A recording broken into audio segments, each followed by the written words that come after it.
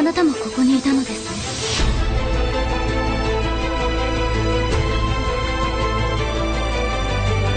エルシド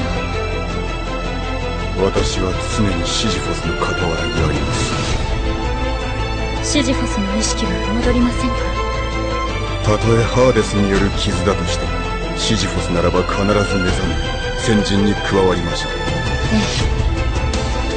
う。オネイロスペガサスを捕らえしろ魂だけでなく肉体も向かいへと陥れる。なるほど。二度と転生叶わないが向かいを隔離するというんです。か必ず四神ことごとく立ちシジフォスを救出いたします。いい男じゃない。我ら夢の神相手に戦うか。セイン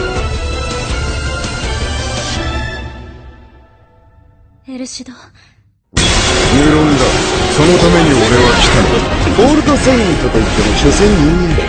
ここで死んでいきな。あの男はどれだけの感情を内に秘めているのか我ら四神の魂を同時に打つ。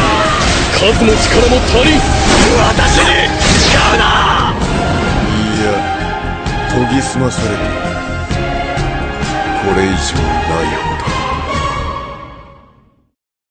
心を刃にしろペガサス。道を見失わぬように。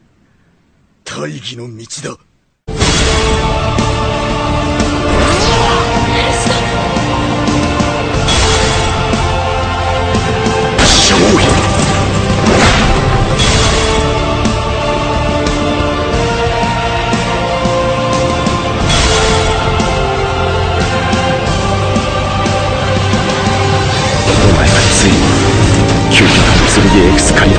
バーを完成させたのだからな。神を恐れるのか。